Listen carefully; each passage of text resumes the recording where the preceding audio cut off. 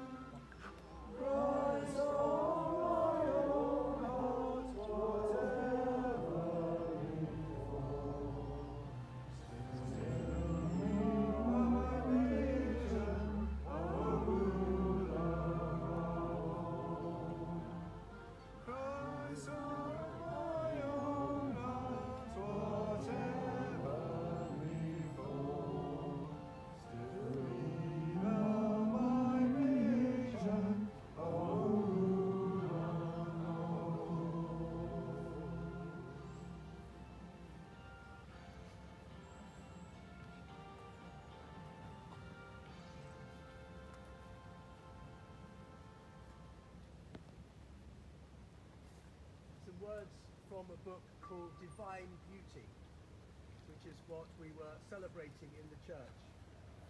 As a river flows into the sea, there is a sense of it no longer being a river. It may be seen to decay into the ocean, and there may be sadness for that. Its course has been run. But there is no break from one to another, but a flow. And it becomes what it was always meant to be bigger, deeper, wider than it ever imagined. We're going to stand and hear a song now, the first and the last lines of which are these. Never weather-beaten sail, more willing bent to shore. O come quickly, glorious Lord, and raise my sprite to thee. And as we hear this song, we'll allow that space to be our own thankfulness for Richard and our farewell. Never weather beaten sail, more willing bent to shore. Never tired pilgrims' limbs affected slumber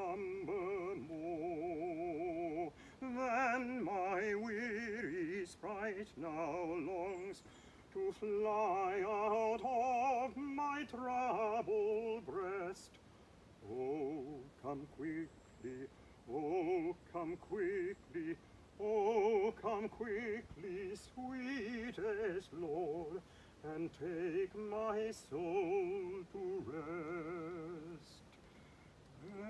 Ever blooming are the joys of heaven's high paradise.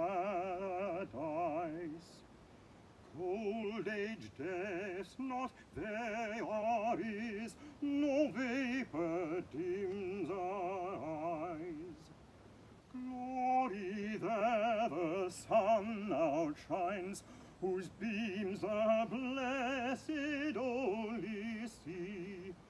Oh, come quickly, oh, come quickly, oh, come quickly,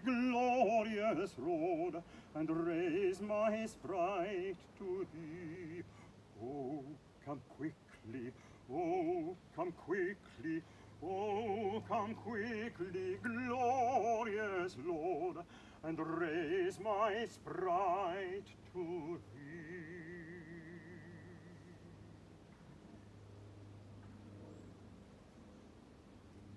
Bridges and I are now joined by Debbie, another part of our clergy team here, that we may say farewell to Richard together.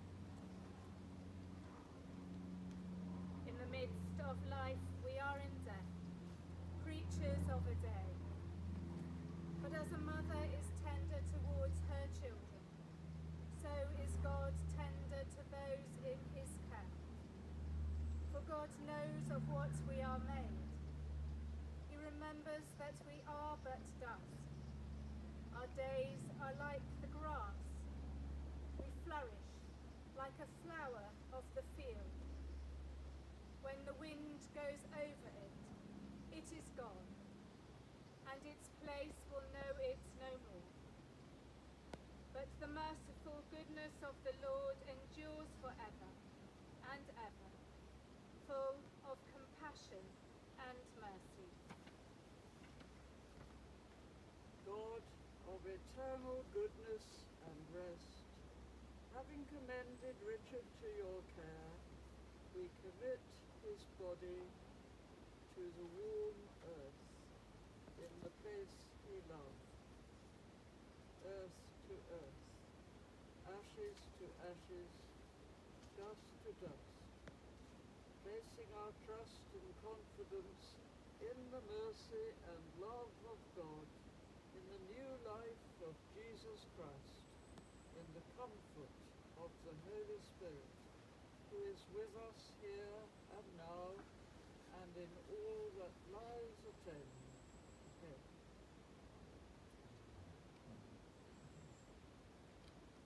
You see on the front of the order of service a wonderful photograph of Richard, and you can see Richard in Patrick and David. And so before I give the final blessing, if I may, this is a poem for you two. Our parents cast long shadows over our lives. When we grow up, we imagine that we can walk into the sun free of them. We don't realize until it's too late that we have no choice in the matter. They are always ahead of us. We carry them within us all our lives, in the shape of our face, the way we walk, the sound of our voice, our skin, our hair, our hands, our heart. We try all our lives to separate ourselves from them, and only when they are dead do we find that we are indivisible. We grow to expect that our parents, like the weather, will always be with us. Then they go, leaving a mark like a handprint on glass or a wet kiss on a rainy day. And with their death, we are no longer children.